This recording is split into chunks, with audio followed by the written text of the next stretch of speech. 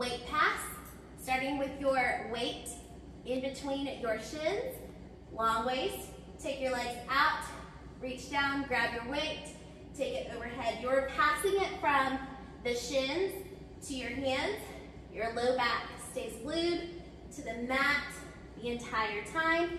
If your low back is coming off of the mat, only hold it in the hands, okay?